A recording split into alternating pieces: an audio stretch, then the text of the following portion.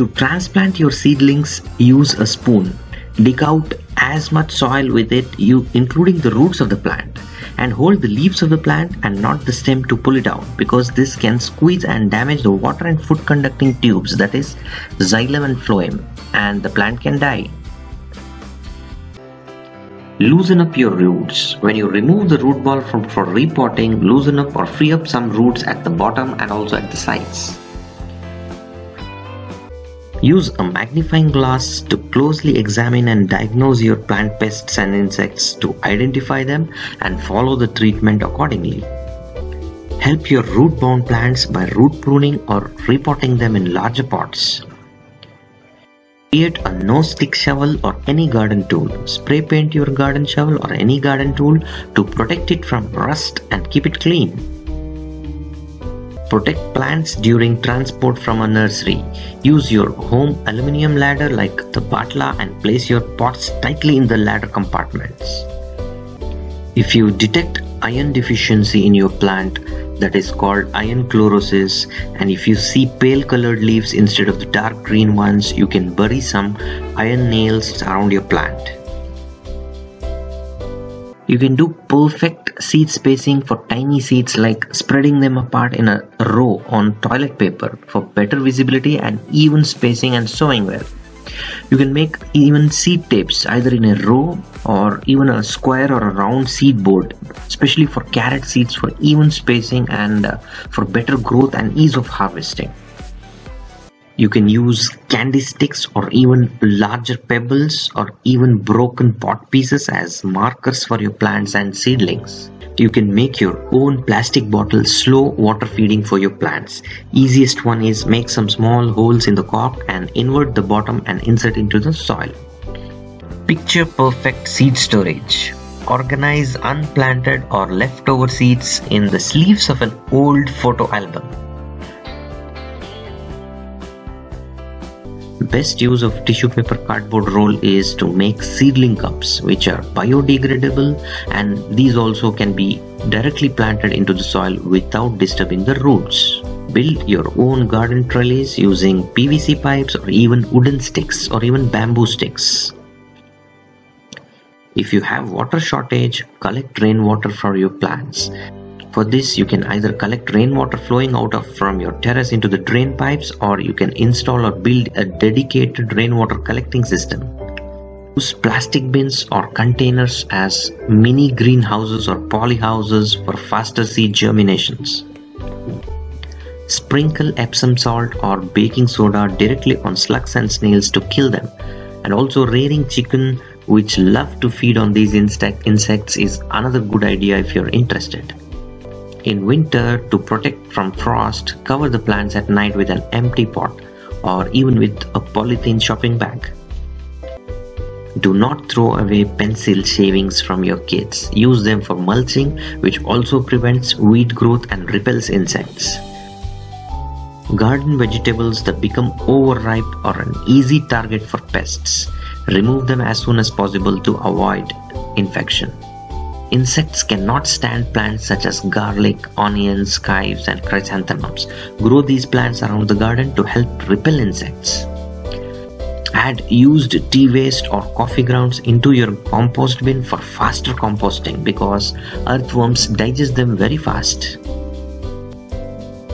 You can also use tea waste or coffee grounds on flowering plants as an organic fertilizer to boost the blooms. Healthy soil means healthy plants that are better able to resist pests and diseases. And using neem cake biomix in soil to get rid of many plant diseases is a very good idea. And also, it is a fertilizer and nourishes your plants. Seal the injured end of your plant stem after pruning or the top end of your plant cutting during the process of cloning by just pouring one or two drops of wax from your burning candle. This will prevent moisture evaporation and results are better. And also it helps as a sealant for microbes and fungi. Watering seeds and seedlings carefully is very important and watering with the regular garden can can displace the seeds and damage the seedlings resulting in bad outcome. Best way to water them is use a tray under the pot. Whenever there is water requirement, it uptakes it through the drainage holes. Use sandpaper to scrape the hard seed cover of certain seeds like apple, chiku and those with hard seed cover for faster seed germination.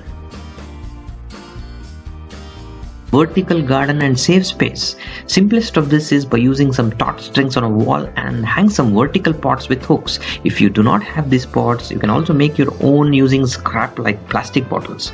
You can also use your fence mesh like this one and hang pots to build a vertical garden.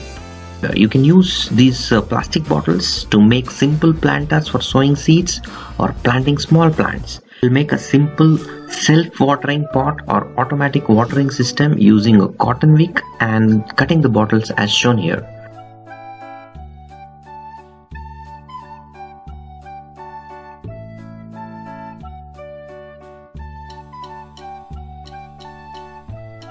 The lower end of the wick should be placed in the water reservoir, that is, the lower portion of the plastic bottle. Make a hole in the bottle cap and insert the cotton wick through it. And the upper portion of the bottle can be inverted with the potting mix and plant inside it. Whenever the soil gets dry, it will suck the water through the string and then provide the automatic watering system. Make your own seedling watering can. Use a bottle. You can make this in two ways. First by popping out a nozzle by heating the cap.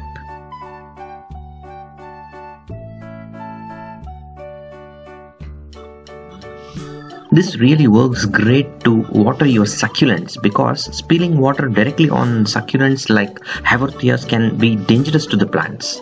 Another way is to make a simple bottle shower by making multiple tiny holes in the cap and offers the shower effect to your small plants.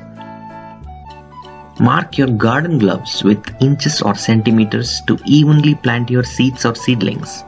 And similarly, if your garden is bigger, you can use a long stick and mark the measurements for the same purpose like if you're planting it in a raised bed garden or large space gardening. How to know if my seeds are healthy or unhealthy?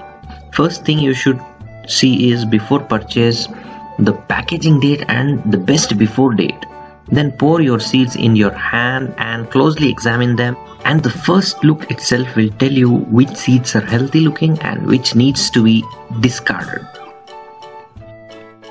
You can test your seeds or even start some seedlings using the toilet paper method. Just sprinkle the seeds on one layer of the toilet paper and put another layer on the top of this and make it moist by spraying water.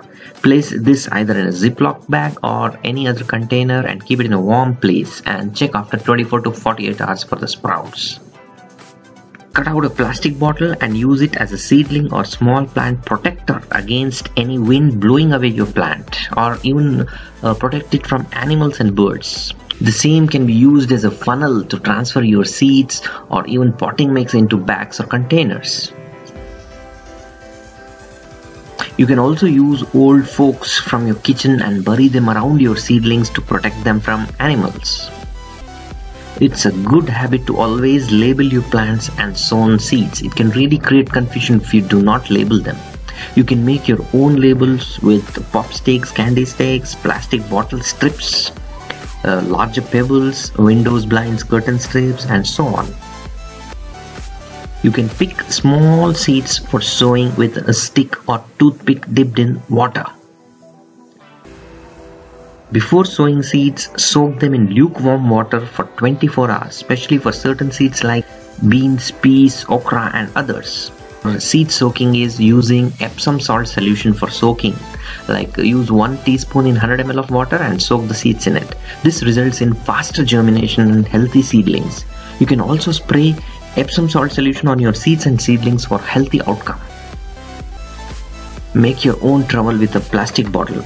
By cutting any used plastic bottle like I'm showing you here, try to take a harder bottle for making this. You can use the same as a funnel to even transfer your potting mix or seeds and things like that.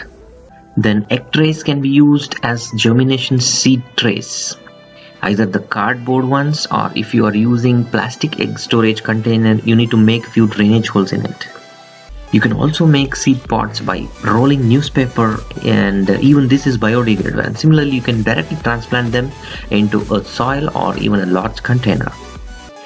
Tidbits or tic tac containers. They are small containers. You can use them to preserve your seeds, like leftover seeds, into this. And once baby seedlings come out of the seeds, gradually introduce them to sunlight once the leaves are out. Like one hour a day for three days, two hours a day for few more days, and then gradually to full sunlight. This process is called hardening off. Use a seedling heat mat or a heat source from a high watt bulb. This can help you create a spring like atmosphere for your seeds or uh, for better germination and faster germination. Scrape your nails into a soap before working with your garden soil or potting mix if you do not want to use garden gloves. This helps in cleaning your hands easily later on and also the dirt won't enter into your nail beds. Make a cello trap tape. Wrap the cello tape in reverse on your fingers and use the sticky part to touch on the leaves infested with pests like aphids and whiteflies. Use dirty aquarium water to fertilize your plants. When you are performing a periodic cleanup, do not throw away the water and the filter waste. Just pour small amounts of it to your plants. It contains helpful bacteria and some trace nutrients that can really help your plants. Similarly, use cooking water to fertilize your garden. When you boil or steam some vegetables, do not pour the water into the drain. Instead, once the water has cooled, water your plants with it. It contains many essential nutrients for your plants. Sprinkle fine cinnamon powder on your seeds and seedlings to protect seeds and seedlings from rot. For acid loving plants like azaleas and roses, use alum 5 grams in 500 ml of water once every 10 days and this will really boost the growth and flowering. Remove clay rich soil using a simple hack. When you bring your plant from a nursery and start repotting, most often you find they have stuffed the plant in a clay rich sticky soil. You can remove the soil without damaging the roots by soaking the root ball in water for a few minutes till the soil dissolves. Then you can repot this plant into a well draining potting mix. Forget to water this newly repotted plant with Epsom salt, about 1 teaspoon in 1 liter of water to counter transplant shock. Use this universal organic formula to deter most rodents and animals from your garden and even pests. If you have already experienced rodent and animal attacks on your garden, you will realize the importance of this uh, tip. Add 1.5 teaspoon of chili powder to 1 liter of water. Plus add 3 to 4 drops of liquid dish soap to help the spray adhere to the surfaces of the plant. Then to make it more potent, add one or two pieces of crushed garlic or even you can add paste, garlic paste. Plus you can add some uh, crushed chopped onion pieces. Mix it thoroughly well and then leave it for 24 hours. Then use this solution to spray on your plants. But do a patch test on your leaf first and check whether the leaf is wilting if it is too strong. If it is so, then you can dilute this accordingly and use it on your plants safely. Another simplest way to repel some animals like cats, dogs and uh, rabbits is to soak some pieces of cloth with vinegar, white vinegar and stuff them in some areas of your garden. These animals cannot withstand the smell of vinegar and may not return back if you repeat this process for a few days. To promote more blooms and growth of your flowering plants, do not hesitate to perform these three tasks pinching that is cutting the growing tips of stems and branches to promote more branching. Number two deadheading that is removing the dried or drying flowers along with the twig from your plant. Then number three pruning. This helps promote more growth and makes the plant more bushy. Then if you do not have any chemical rooting hormone or powder that is the indole butyric acid you can dip your cuttings in honey cinnamon powder fresh aloe vera gel, and even your saliva or spit. Discover a free seed germination station that is the top of your refrigerator. You can place your seed trays on top of a refrigerator to get the heat and produce faster germination of your seeds. Easy method to check viability of your seeds. Just pour them in a bowl of water and if the seeds are floating this means they are dry and not viable. Discard them and use only those seeds that sink to the bottom. You can use silica gel packets which I'm sure most of us have seen these packets. Instead of throwing these tiny sachets use them for your seed storage containers as desiccants which can increase your seed life and protect them from fungus. Similarly, silica gel packets can be used to preserve powdered gardening stuff like bone meal, fungicide powder, rooting hormones, and so on. Just tape the sachet to the underside of the container's lid and that's it. Use 3% hydrogen peroxide solution 5 ml in 1 liter of water and spray on the seeds once every 2 to 3 days to get fast germination and healthier seedlings. You can also use a mixture of 1 part hydrogen peroxide to 32 parts water to improve your plant's root system by watering it with this solution weekly once. Humidity tray by using small pebbles installed in a large tray surrounding the plant and pour some water into the tray. This really helps to maintain humidity levels and helps your plants to grow. If you do not have perlite or vermiculite, you can also use red brick powdered. This helps to make a well draining soil. Do not throw away kitchen leftovers. Grow plants from leftovers, that is, veggies and fruits like onions, pineapples, and so on. Lighten the weight of your pot. Use pieces of packaging foam or even thermocol pieces at the bottom layer of the container and mix lot of coco peat or peat moss and even you can add perlite into the mix to make it lighter. Now about the universal organic pesticide. In 1 liter of water, mix 1 teaspoon chili powder, that is red chili powder, 2 to 3 pieces of crushed garlic plus some onion chops. And also you can add some aloe vera gel. Plus add 5 drops of liquid dishwash soap which acts as a surfactant and spray this weekly twice on the affected plants to kill aphids, mealybugs, whiteflies and other pests. This also deters some animals and rodents. Use liquid dishwash soap in any pesticide you make. This acts as surfactant and helps in coating on the plant's leaves and branches. You can also use any hand wash liquid soap or any soap solution for this. Use unwanted or old plastic forks or plastic spoons to label your plants, that is, mark your plants if you do not have professional markers. Use certain herbs like citronella, catnip, basils, marigolds, eucalyptus, and many other plants to deter mosquitoes. You can watch my separate video on a big list of mosquito repelling plants from the link in the description and also from a link here at top right corner of this video. Do not throw away banana peels. Bury them around flowering plants into the soil to provide the potassium content to the plants and improve flowering and overall plant health. Grow sweet tomatoes using baking soda. Sprinkle baking soda around your plant soil which counteracts the acidity and yields sweeter tomatoes. Do not throw away your broken umbrellas. You can make a garden trellis with the umbrella frame to support your plants.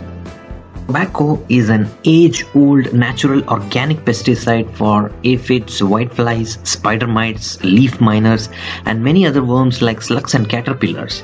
If tobacco or tobacco leaves are not available, you can use this hack.